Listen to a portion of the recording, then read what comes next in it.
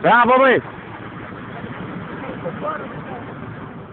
Dă-i puțin mai tare, Adi.